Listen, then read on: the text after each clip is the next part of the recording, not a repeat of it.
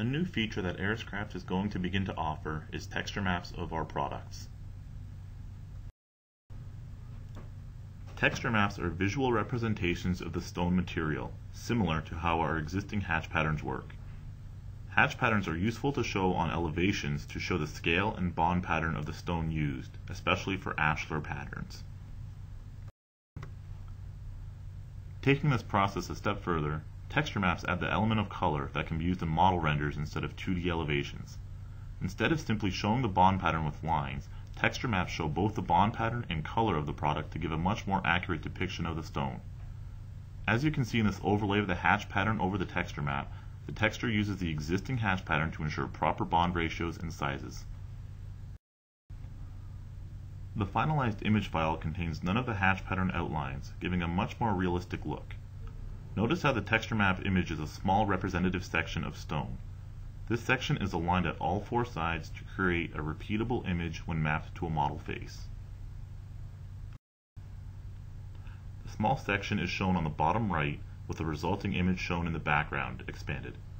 For Renaissance textures, a 3 unit by 4 unit section is used so that color ranges can be shown accurately. For consistency's sake, even monotone colors use the same 3x4 section for their texture maps.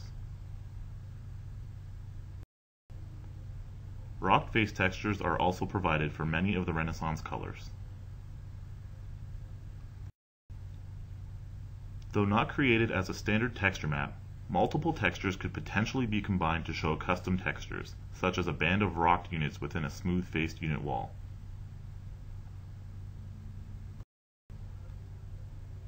8-inch face rise texture maps are also available.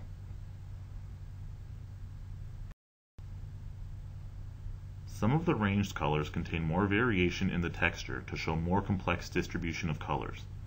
For example, Sunset contains 6 different units within the 3x4 section, while other ranges such as Garnet would only contain 4 different units. Building stone textures are much more complex than the modular Renaissance textures.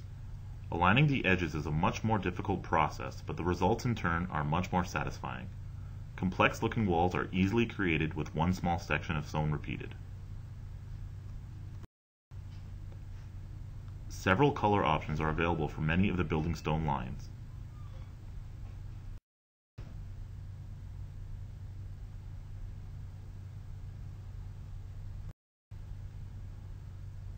Shadowstone textures have shadow lines added to the image to create the illusion of depth.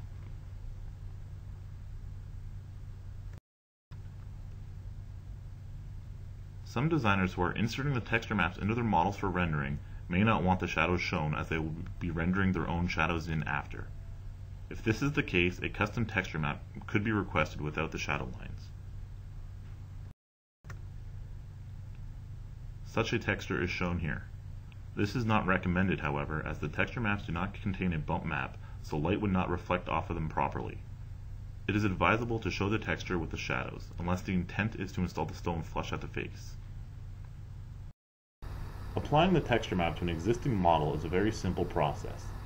This demonstration will show using SketchUp, a very popular modeling software. The first step is to import the texture map into the model, as you'll see here, these are the existing materials, and we're going to be adding a new one based on the texture map that has been downloaded.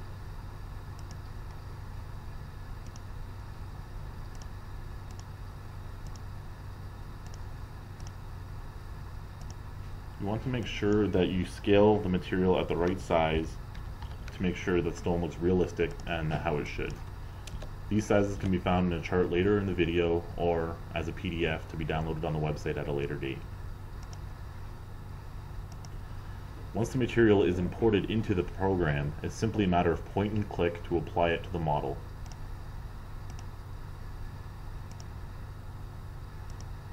Then you can see the results with the material being applied to the existing face.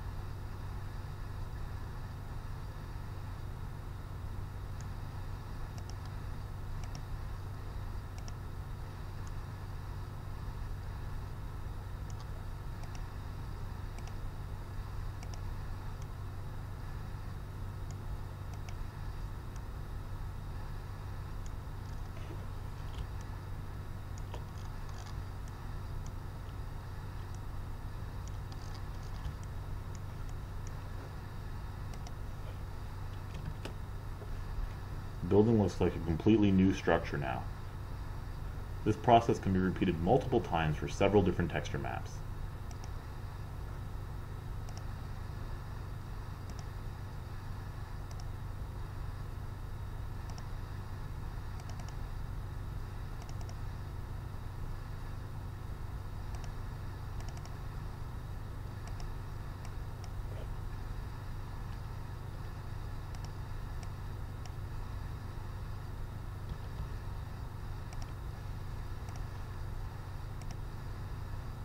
Can see the results are the same.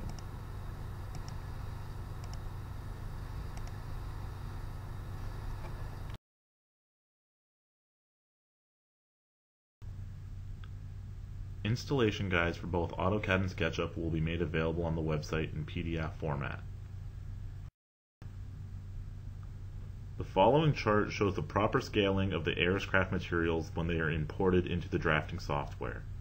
This chart will be made available with every download of the texture map and also within the installation guides. The following few slides will show examples of texture maps that have been completed and will be available for download.